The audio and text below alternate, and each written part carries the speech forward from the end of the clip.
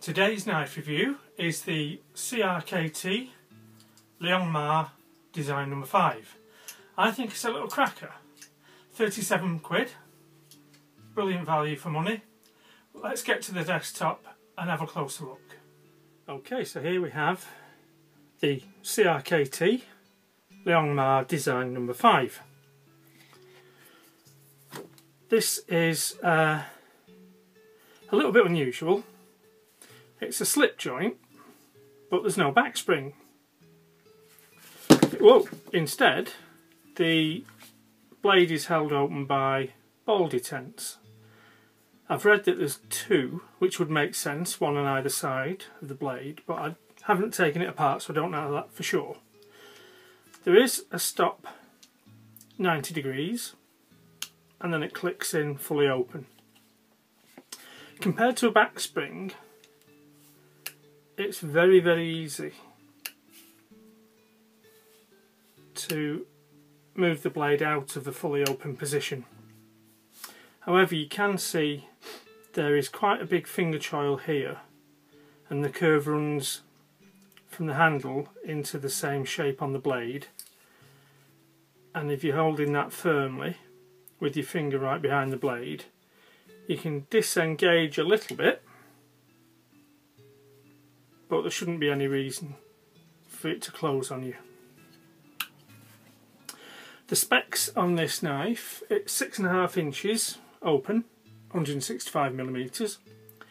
Closed it's three and three quarter inches or 95 millimeters. Weighs three and a half ounces, 99 grams. The blade is two and three quarter inches, 69 millimeters. It's four millimeters thick and it's made from 8CR14 MOV at 58 to 59 Rockwell. So it's not a high tech steel, but it's a very common steel, takes a good edge, it's easy to sharpen. As you can see we've got quite um, an elaborate design on the blade. We've got a milled slot either side there with a matte finish inside. We've got a hollow grind with a terminal bevel and then there's this swedge at the top which comes down to meet the top of the hollow grind. We've got jimping on the beginning of the blade and the end of the handle and rather than an upswept thumb ramp it's a little downwards cutout. Sits very well in the hand. You have these two um, choils here. And for me I just get a four finger grip. Quite comfortable. The G10 scales are very smooth. In appearance they have a nice texture. But it's so fine it doesn't contribute anything to the grip. Having said that with the shape of the handle I think you get a good enough grip anyway. There is a lanyard on the end um, I quite like lanyards in principle, but this particular one doesn't add anything practical and it's very plain, it isn't decorative in my opinion. So I think what we'll do is we'll take a quick size comparison with the Victorinox Spartan copy and then we'll get rid of this lanyard because it's bugging me. It just it was tied round the end standoff. It wasn't removable and refittable. So with the open frame construction we've got three standoffs there and then the pivot hardware and a stop pin that is hidden on the outside. The belt clip is deep carry although it's one position only. On the CRKT website they're showing a model with two positions both tip up but here the one on the CRKT website has a recess machined in and a hole for the screw. But on this model it's just single position. I like this deep carry pocket clip. It's the first one where I'd be tempted to actually use it. And I'll just show you how that looks now.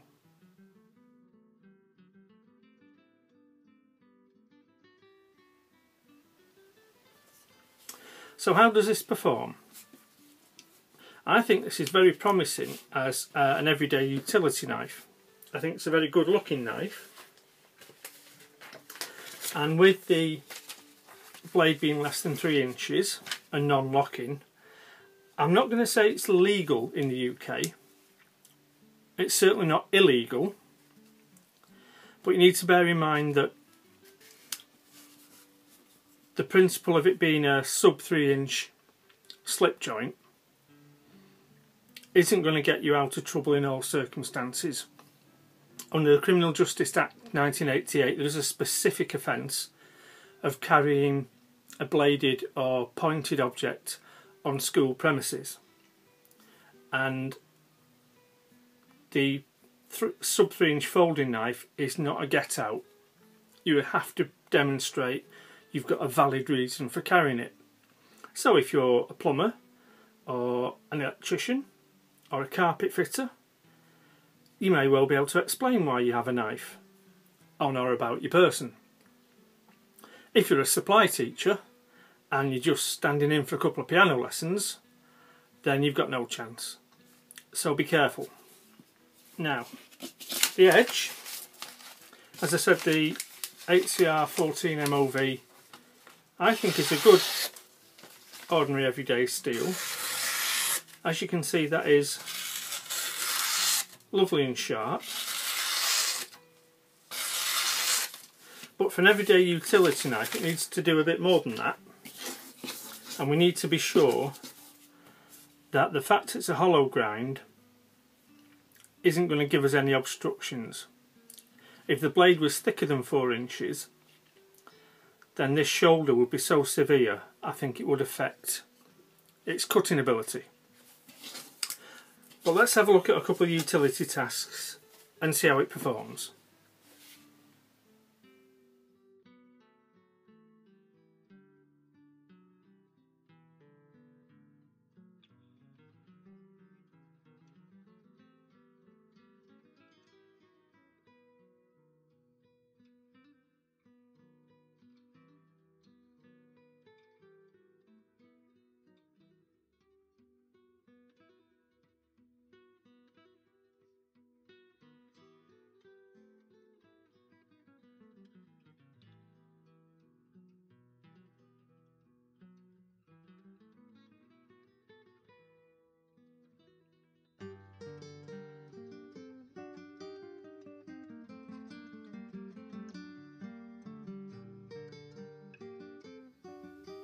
So there we have it. I think it's a handsome knife. The fit and finish is flawless. It's an interesting design with the ball detents instead of the back spring. I think it's well worth the money. So I'll show you some close-ups and you can see what you think. Thanks for watching.